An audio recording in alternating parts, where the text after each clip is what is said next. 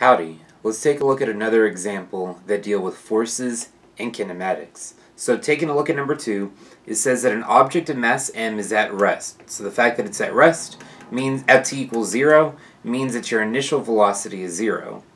On a frictionless table at a point defined to be the origin, so that's going to be when your x naught and your y naught is equal to zero. Two forces in the plane of the table are applied as shown. Both forces are fixed in the direction shown with the magnitudes given by the following, where C1 and C2 are known constants. Find the object's position as a function of time. And so the first thing that I want to do is I take a look at my vectors, and let's find my force vectors first. The magnitude of F1 is C1, and it's pointed only in the x direction.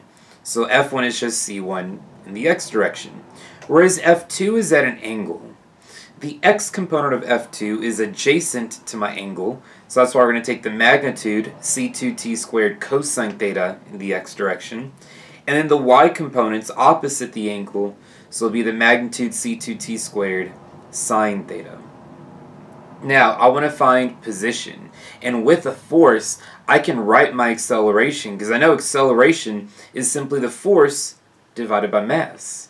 And your total acceleration will be the sum of those two accelerations.